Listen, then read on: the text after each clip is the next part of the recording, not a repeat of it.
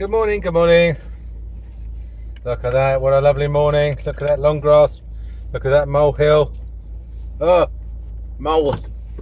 The bane of my life. I know how to catch them, I just don't have the time.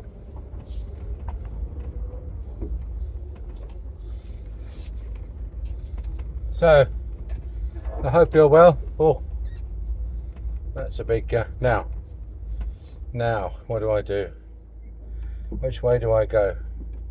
I'm early. I'm going to go the slow way. Pick the uh, scenic route.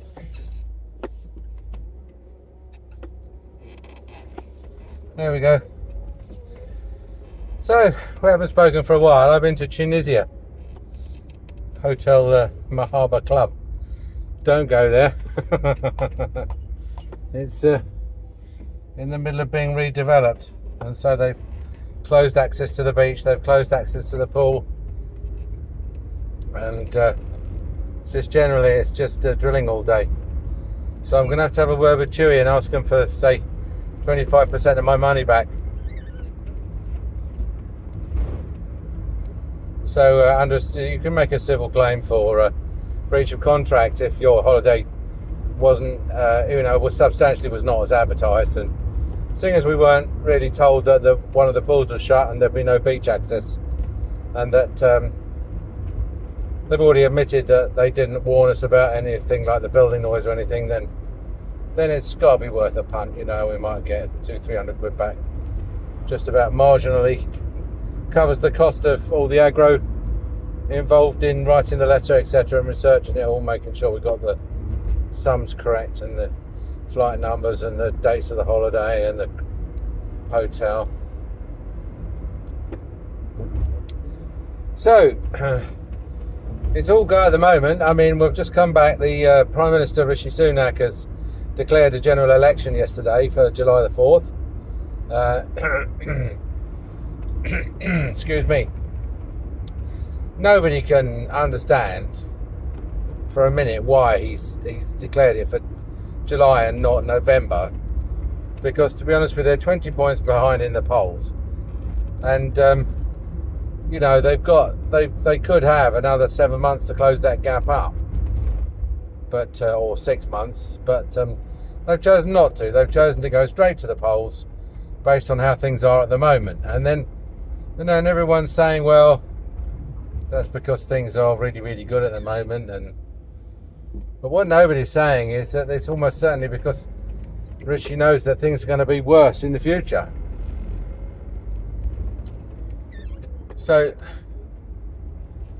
that's my theory, anyway. I think inflation is. Uh, they've got a two percent inflation target. It's come down to two point three, but it didn't come down as much as they were hoping it would. And um, you know, I still think there's a lot of inflationary pressure in the uh, in the system, and uh, they, you know, they've sort of got the legislation through to deport the economic migrants to Rwanda, but they haven't actually deported any, and there might be a lot of protests and riots, and you know, the protesters have probably set fire to the plane, etc., etc so he doesn't really want to sit through all that. It's that's what. So I think honestly, he's thinking. I mean, let's bear in mind this guy is richer than the king. Okay, he's richer than the king. Why? He, he's just wondering why he bothers. You know, why is he, he comes to the conclusion that he's he's not good enough for the job. Really, basically, he's not. He doesn't want it that badly. He's sort of oh, run out of petrol. He's um you know, he got to where he got to by, I don't know, by, by dint of his money and influence, I suppose. And uh, and he's got he's suffering the same problem as uh, Gordon Brown did when Gordon Brown spent all that time waiting to take over from Tony Blair. And when he took over, he was given some credibility. You know, he was given the due respect and everything. But then uh, after a few years, it became quite apparent that he was not any good. You know, not a visionary, not a leader, not anything. so he got slung out, And I think that's what's happening. I think Sunak realises that he's going to uh, he's going to get slung out, and that's because he's you know as people delight in telling you he was never elected. He stood against Liz Truss. Liz Truss won, he lost, and then uh, she embarked on a series of policies which were designed to uh, lower taxes, shrink government, shrink government spending. Oh my God, did the establishment not like that? So basically, they and this, and of course, Rishi Sunak, who'd been chancellor up to that point, um, was in a position to not, I wouldn't say engineer a, a crisis in government spending, but to sort of say, look, you know, if you was to go in the media and say that she's the worst prime minister we've ever had, then I wouldn't mind. And of course, he benefited then, didn't he? Because he got elected, you know, by by acclamation afterwards, because he was the only other can- candidate. They didn't want to go through another big election. So, so we've got this weird situation where Sunak was the chancellor and caused all the problems, right? And government causes inflation. Remember, we've established that, haven't we? Government causes inflation by expanding the money supply.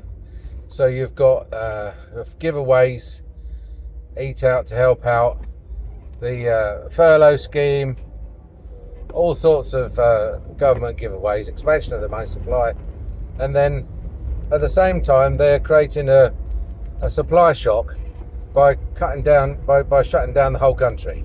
So there's no goods and services being produced. So you've got this this shortage of goods and service, and this now all of a sudden a tremendous glut of money, and everyone's wondering why prices are going up. Now, now of course, I know they're furiously trying to blame Vladimir Putin. They're you know the, the, what they the person they want to set up as a bogeyman. I'm not saying he's not a bogeyman, but I'm just saying he's not really responsible for inflation oil's still seventy dollars a barrel or something. It's not like seven hundred dollars a barrel. And um, and uh, the bloke who really caused the whole problem, the bloke who was completely inept and clueless as a chancellor, then ended up as the prime minister, tasked with the job of solving everything. You know, and he was like, he came in as prime minister, said, "Don't worry." Now I've been a brilliant chancellor, now I'm going to be a brilliant PM, I'm going to solve all the problems. Well, hoping that the public continued to believe that the problems weren't that weren't ones that he created, which in fact is what they were. So then on the other, uh, his right hand man, Jeremy Hunt, spent a lot of time at the top of the health service. And to be quite honest with you, didn't really have much uh, you know, I don't think he was really the poster boy of most of the NHS staff. I don't think he was up in many staff waiting, uh, staff uh, restrooms, posters of Jeremy Hunt.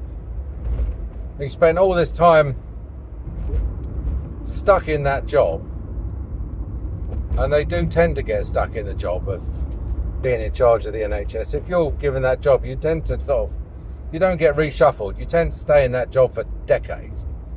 So he's been in this. He was he was at this presided over the sort of the gradual deterioration in the health service to the point where the doctors are on strike over money. The uh, waiting lists are shooting through the roof. And the first woman ever born on the NHS, who was born born two minutes after the NHS came in, and got the nickname Nye after Nye Bevan, who invented the NHS, has now gone public and said that she's uh, she's she's going private. Things have finally got so bad. It's taken from 1948 to 2024 for her to come to the conclusion that she needs to go private. And what is the thing she's going private on? Dentistry.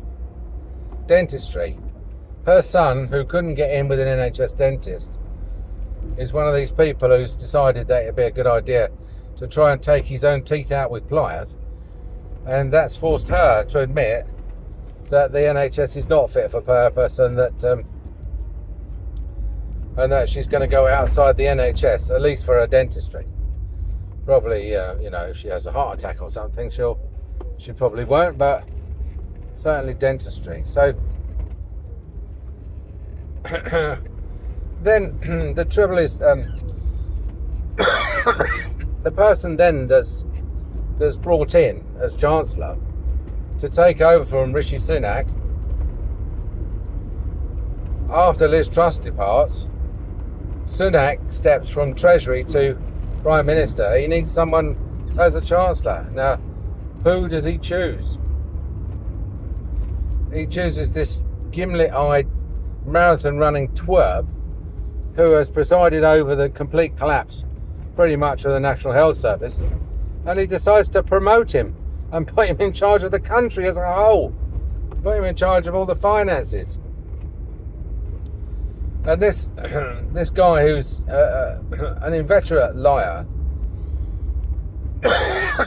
excuse me, who who came to the country after the last budget and said,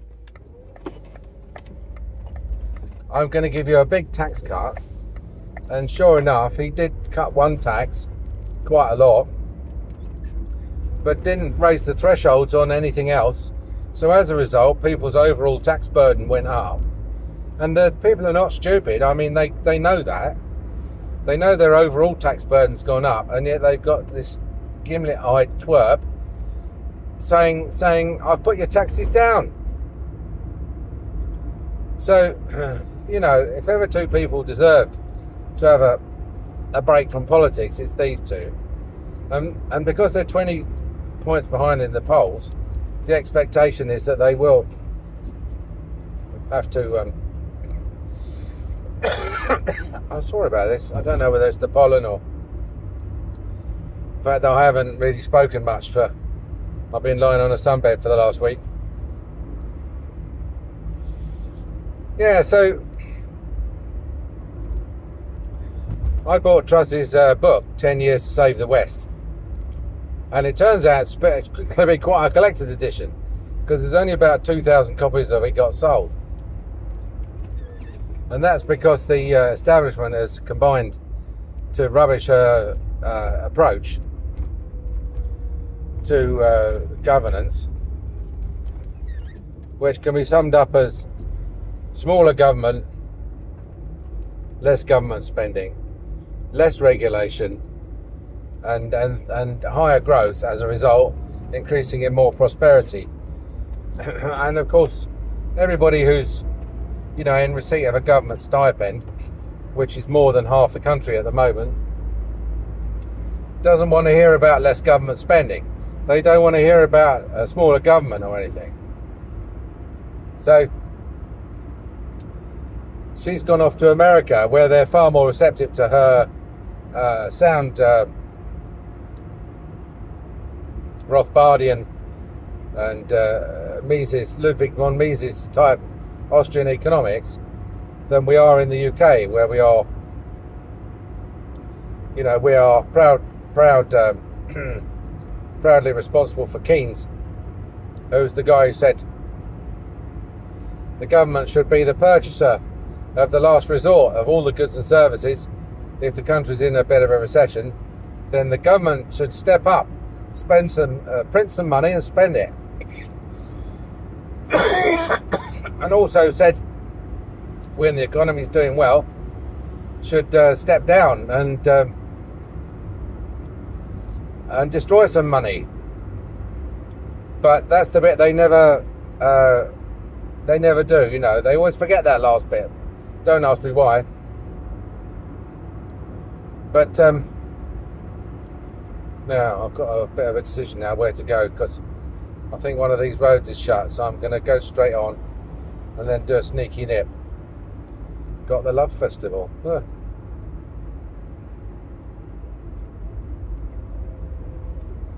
So here we go.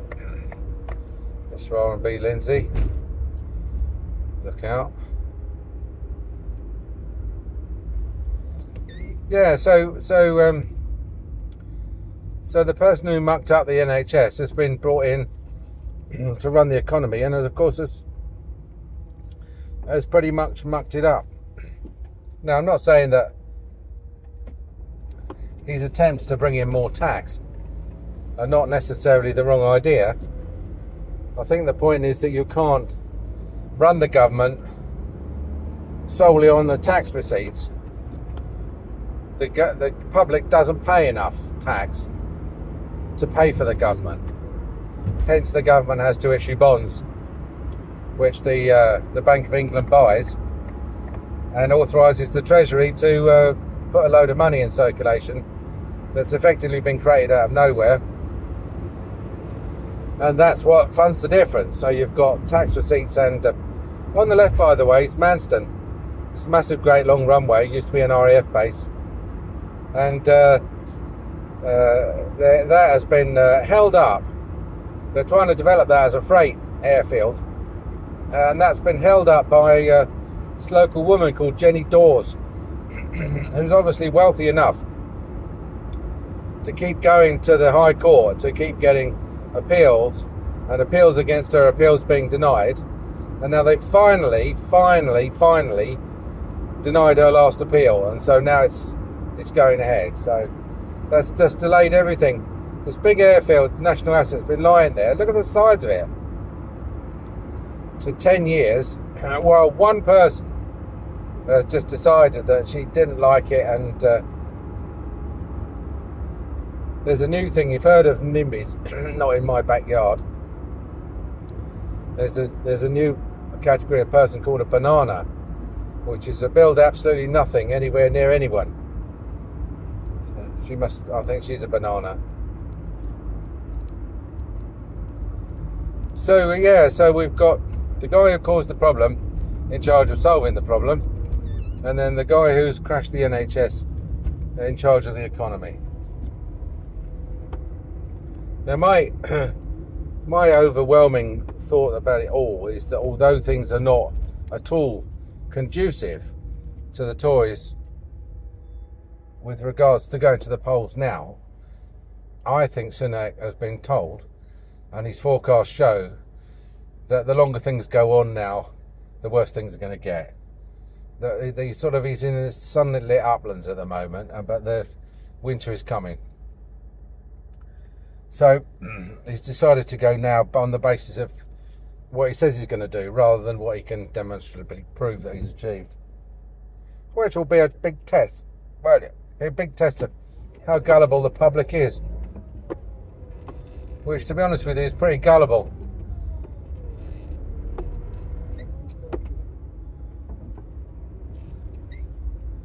So,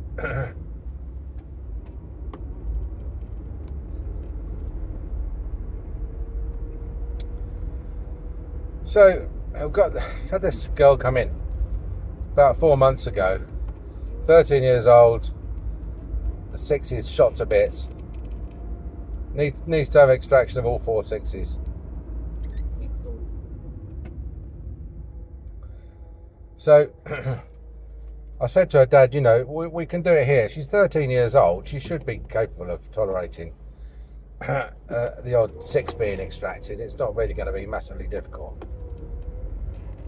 But dad didn't want to do it because I think we were going to charge 400 quid which at hundred pound a tooth is is still you know cheaper than he'd have to pay if he took the dog down the vet. But uh, some parents, and in particular some ethnic groups, are very particular about the fact that children are children and should get NHS treatment and therefore and shouldn't have to pay.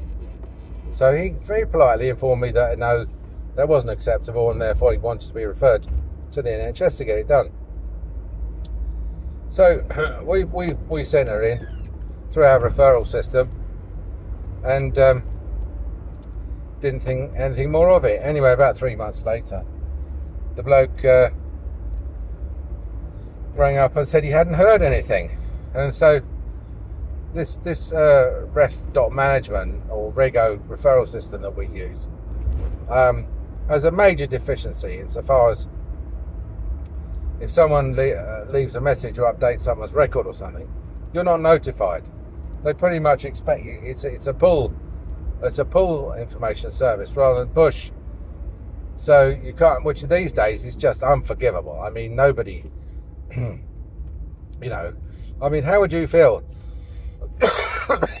and if you listen to say 20 podcasts and every day you had to tune in to look up all 20 to see if anyone had, had posted any new content.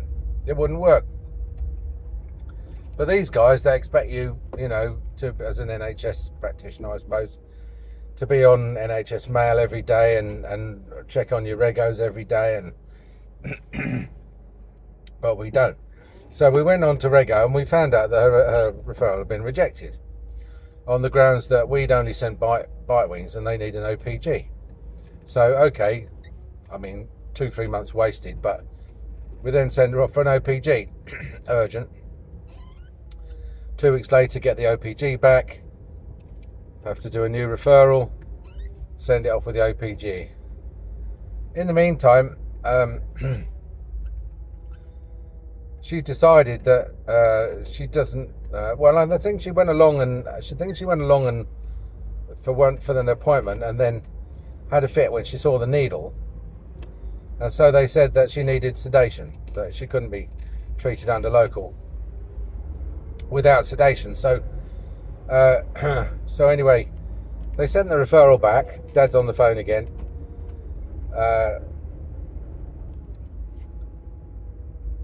So then we're, we're referring her for sedation. So then we do, do another referral. So bearing in mind, I've only ever done a checkup on this girl.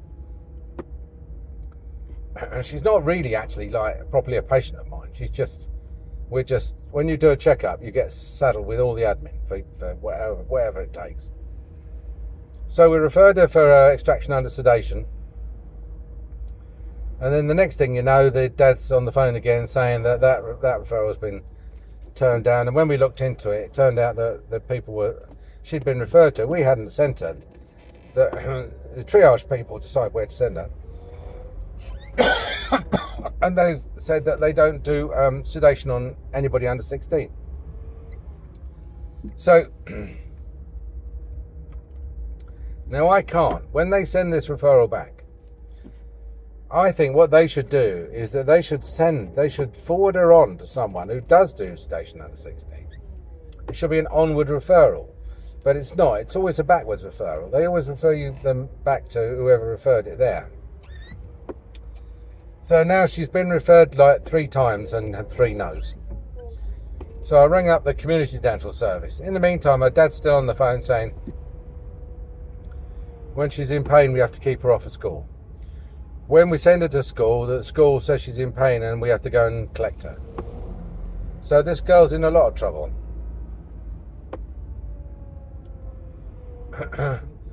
so um, ring up a community dental service. I've got a patient who needs a sedation. Uh, she's under 16. Do you do that? Oh yeah, we do that. Fine. How do we do that? Oh, just put her in the referral service same as you do with all the others. So we got, well, no, we got a fourth referral to do now. And um, but just before she hung up, she said, oh, I, I need to let you know that there's a waiting list of about a year for this service. So can you just make sure your patient knows that? So I'm like, great. I can imagine how that's going to go down with her dad. She's going to miss a year off school at this rate. This road on the left uh, at least it was shut yesterday. This roundabout is supposed to be finished last December. So it's seven months overdue, and I think it's probably got another two months in it yet.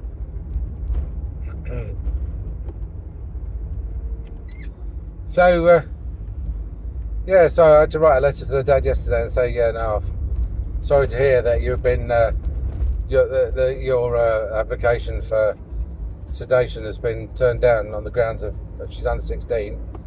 However, we've referred you somewhere else. Now, I think personally, her dad has not really helped this at all because she's she's very much one of these children who's like, "Oh no, Dad, I can't do that. I can't do that. I can't do that." And her dad's saying, "All right, all right, sweetie, you know, just well, Dad'll get something sorted out for you when he doesn't know that he can, and in fact, in practice, he can't. So, so I've got every sympathy with, with the dad and the girl in particular. It's less so with the parents because they're the ones who wrecked her teeth. they managed in the space of seven years to uh, wreck her teeth so badly that they need to come out. And probably they're still feeding her sugar, which is why she's still getting toothache. But uh, I've got a lot of sympathy with the girl because it's not her fault. She's got parents like that, and it's not, you know. And again, I think the father, you know, I don't really again have much sympathy with people who complain about the, how bad the NHS is because they have allowed it to become bad. You know, these are the people who in 1990, 92 were very much on the side of the government against the profession and allowed the government to bring in a load of changes that uh, that, that more or less wrecked the service. And it was done with the full support of the public, you know. The dentists were telling the truth, they had the right idea, and yet they were repeatedly um, ridiculed and, and overruled.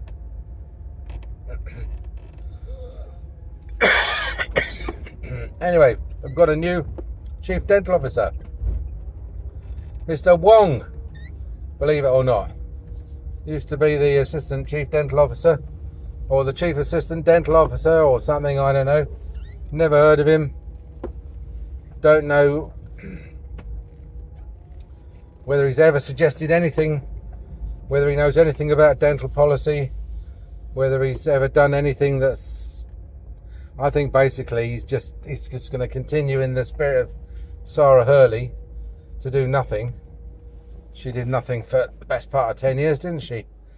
After Barry Cockcroft left, so the, the recipe I think is for continuing paralysis in dentistry, um, as opposed to worse paralysis, five years of absolute paralysis for the country because when Labour gets elected, things are going to get seriously barking mad. And uh, so my plan really is to get through the next sort of six years or so uh, without, um,